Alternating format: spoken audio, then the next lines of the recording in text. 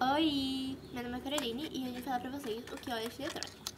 Bom, lixo eletrônico é produtos elétricos sem utilidade, ou seja, que devem ser descartados no lugar certo por não estarem funcionando mais, por estarem estragados. Bom, pra você entender melhor o que é o lixo eletrônico, eu vou entrevistar uma pessoa e ela vai falar o que ela acha sobre o lixo eletrônico. Então vamos lá. Boa tarde, qual é o seu nome? Boa tarde, me chamo Emanuele. Emanuele, o que é o lixo eletrônico para você? Produtos eletrônicos que por algum motivo não será utilizado mais. E você tem algum exemplo para me dizer o que é o lixo eletrônico?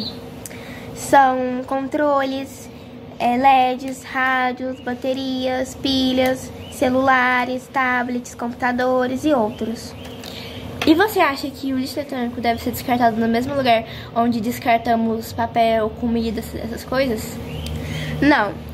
Se você não sabe onde descartar, você pode levar em alguma loja de celular que eles vão descartar para você.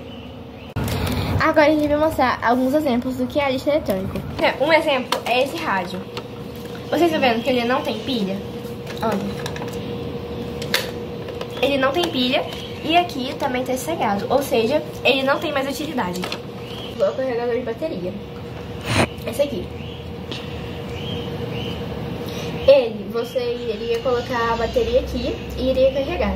Mas como ele não funciona mais, está estragado, vocês têm que descartar ele no lixo eletrônico, né? No loja de celular, essas coisas.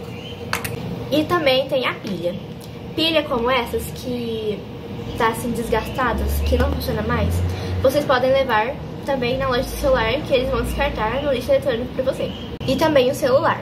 Vocês estão vendo que esse ele tá bem quebrado? Olha. E também ele não tem bateria. Ele é a mesma coisa, só levar uma loja de celular que vão descartar no lixo eletrônico para você. Bom, gente, foi isso. Espero que vocês tenham gostado e aprendido muito com a gente que é lixo eletrônico. Beijos, até mais.